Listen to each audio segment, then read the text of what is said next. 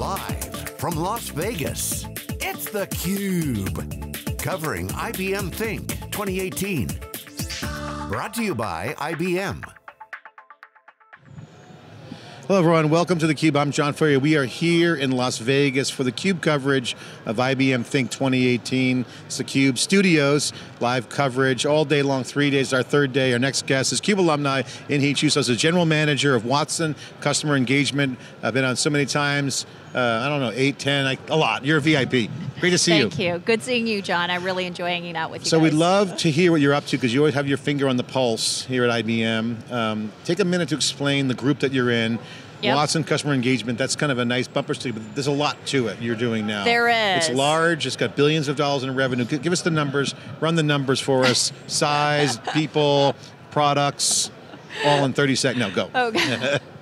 it's an exciting space. Uh, so Watson customer engagement is really the uh, Watson business applications that are relevant for uh, marketers, merchandisers, uh, digital commerce leaders, as well as supply chain professionals. So my team really develops the software both for on-premises and SaaS for uh, everything from you know digital marketing experiences, personalized marketing, campaign management, to uh, managing next generation of interactive sites and shopping sites, to understanding customer journeys and journey analytics, as supply chains and B2B collaboration. So it is a pretty broad breadth of about 21 solutions and offerings.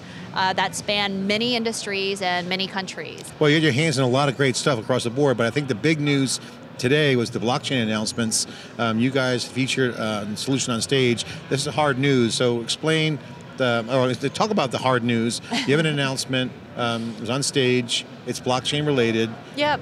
Absolutely. So um, my team has been working on creating more analytics in our supply chain uh, solution. So one of our solutions is called Supply Chain Insights, which really is about adding visibility to disruptions and, um, and being able to apply analytics to, let's say, management response, incident management. Then we um, were thinking about our supply chain business network. So that is a separate offering that we have, which is about 6,000 clients are on it with 400,000 trading partners. We do 8 million transaction documents a day in terms of this trading network. What we did was we announced a shared vi visibility ledger for any of our clients and partners in the supply chain business network. So we're adding blockchain to that as a way to ensure that transparency yeah. as well as speed of operation. So we're really excited about it. And security, huge. Huge.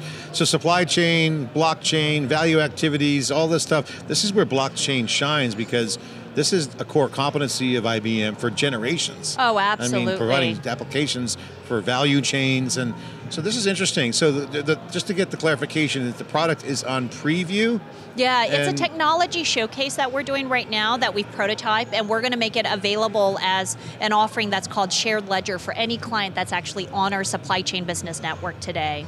And what's what's in it for them? What, how do they implement it in, your, in the vision of the product? They already have a product, they bolt it on, is this a new offering? Yeah, How's so it? if they already have it, they'll get access, uh, access to, let's say, a visibility layer. So the shared ledger will allow you to see where in the process your transaction document is. So let's say you're in the, in the area of uh, uh, consumer and merchandising and moving goods mm -hmm. from uh, in, in uh, transit. So knowing when a box actually left a particular warehouse, is it in transit or not? Yeah. And did it actually deliver on time? There's a lot of parties involved in all of that. And paperwork and, and manual process, data entry.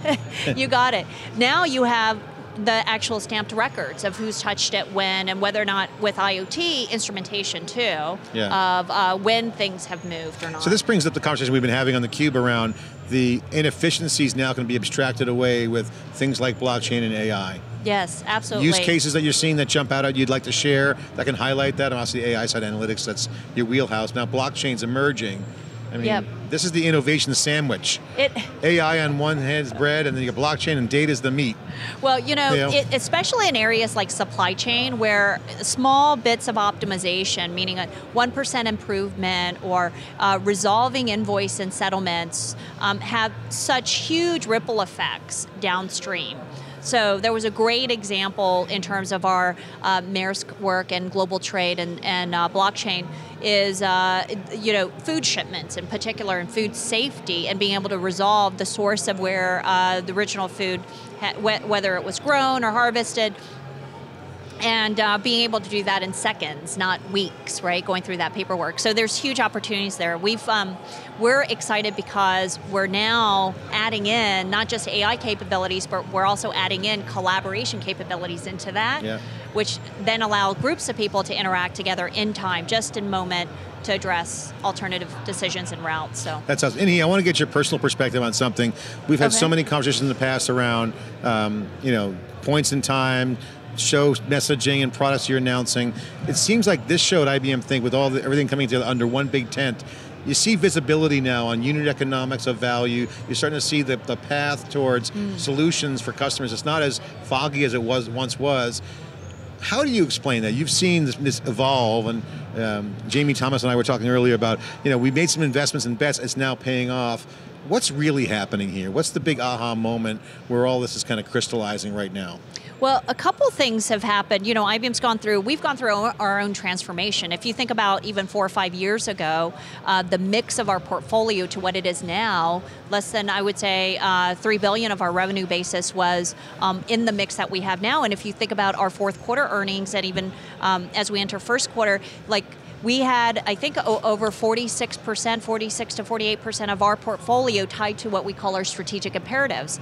And that's a tr huge transformation. So part yeah. of that is a couple things. One is we said, look, this world of AI leverages and consumes a tremendous amount of data, and we want to make sure that you're protecting your data set. So we want to be thoughtful about how you engage strategically. So let's have your strategy.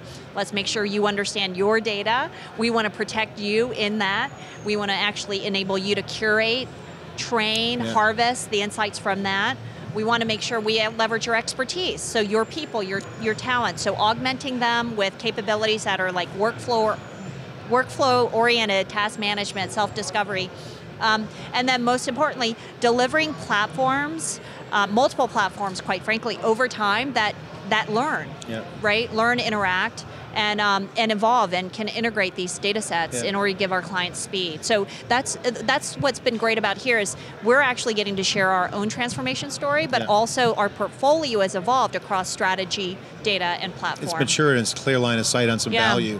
What's the big bets that you could look back on in the past five years saying, well, we made some big bets, um, these ones paid off. What were those big bets in your mind? You've been involved in a lot of deals, I know, on the analytics side. What were the big bets that IBM made that's oh, paying off right yeah. now? You know, I, I, feel like I've known you almost uh, eight, nine years now, yeah. right? Uh, since you guys started on some of this. Uh, I, I, would say, for example, our bet around big data. That that is a huge bet in terms of our analytics capability, and that is a full spectrum. That is something that we've been investing in for quite a long time.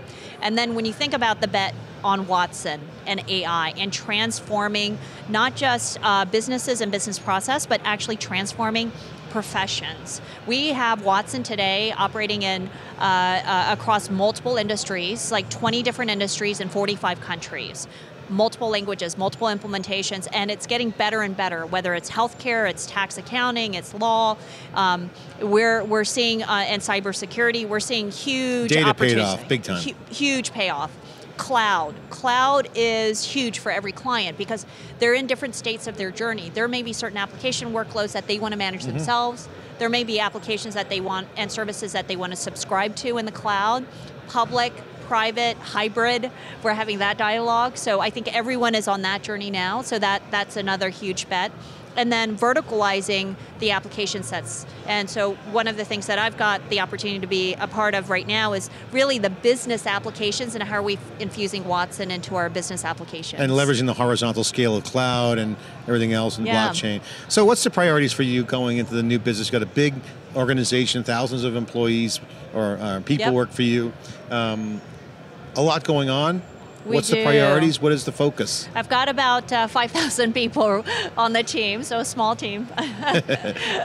Globally dispersed. We're, uh, we're working on a number of things actually. Um, and what's so exciting about that is we're thinking about um, uh, personalizing like AI at mass scale. So when you think about through the lens of a marketer, real-time personalization is becoming more and more challenged because of not only the data sets, but the types of tools and the very Yeah. tool applications. You're switching context all the time. So we're providing ways to integrate and mix data sets. So our user behavior exchange data Yeah. set really gives insights around consumer sentiment, behavior, and context.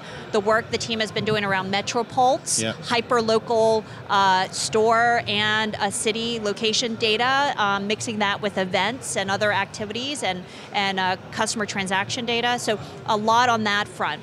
The second category we're really focused on is next generation of um, embedding what I would consider cognitive services like search, headless search. So really understanding intent that's pervasive on other platforms. Um, we're adding things also like uh, embedded agents. So everyone's in, right now talking about you know they want to create chatbots and Yeah. bots, but they're they may be embedded in systems and they also may be embedded in different types of uh, use cases, call center, so forth. So we're excited about that. And then obviously the supply chain area with blockchain. So we've And got the- a lot. And the payoff in data is interesting because now you can have contextual relevance for things that are embedded like chatbots or whatever at the right time. And also, if you think about the gamification opportunities, data now in these network effect markets, whether it's blockchain evolving into cryptocurrency and decentralized web applications, the commerce piece is going to be impacted. Your vertical integrations are going to be oh, gamified.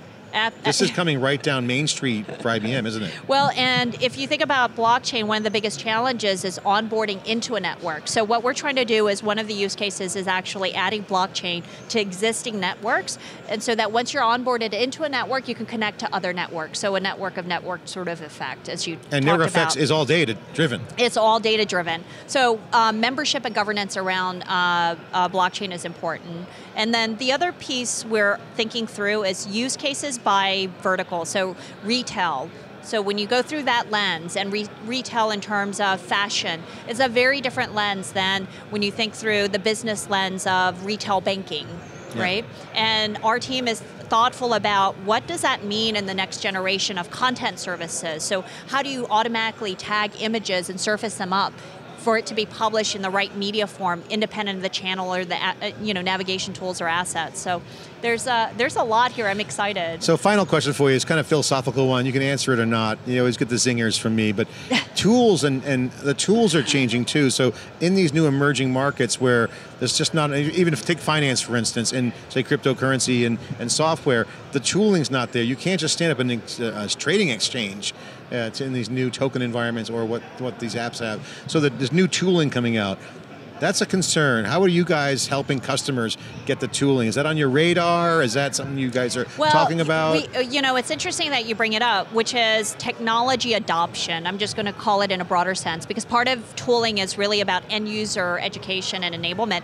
We are actually adding a capability called Ask Watson embedded in our software and services, especially our SaaS properties, um, such that, hey, I want to build a new email campaign. Well, what are the, my choices? And instead of reading through a traditional manual or having to go and find someone and or watching a bunch of YouTube videos, what if Watson actually surfaced? Here are ways, here are some existing templates. Mm-hmm. How where Yeah. would you like to start? And all of a sudden this kind of co-creation happens. So we're actually thinking of applying Watson embedded in our software and SaaS services to enable not just tooling, actually automatic assistance in the task in the moment. Yeah, no, no need to code. Insights as a service. Uh, huge. In- customer insights is actually one of our top applications. So we're we're doing um, capabilities around journey analytics and, and customer experience analytics. So the think about when you're um, uh, any any business person who's got a set of clients you know what they want to do is as they express their brand it may be done through email communications it may be push Yeah. notifications there may be a um, SEO notification. And in that scenario, at what point does the consumer or the B2B struggle Yeah. in actually fulfilling a transaction? Was it as they're zooming in and doing product comparisons? Was it as they were looking at, you know, post-purchase serviceability? We are able to actually understand and look at their journey as they travel through Great. all these touch points. So we're actually doing customer experience analytics too. Yeah. So for me, just coming from that data analytics background Yeah. into this application space of so many domain And these applications got to be they got to be real time. exciting. They got to have the data analytics. Inhi, great to see you. Thanks for coming on the Cube. It's been eight, nine years. It feels like, you know, in analytics years, it's like 20. Uh, you look great. Thanks for sharing your insights on theCUBE, and congratulations on your new role. Thank uh, Thanks for stopping by theCUBE. I'm John Furrier here in the CUBE studios, IBM Think 2018. Back with more coverage after this short break.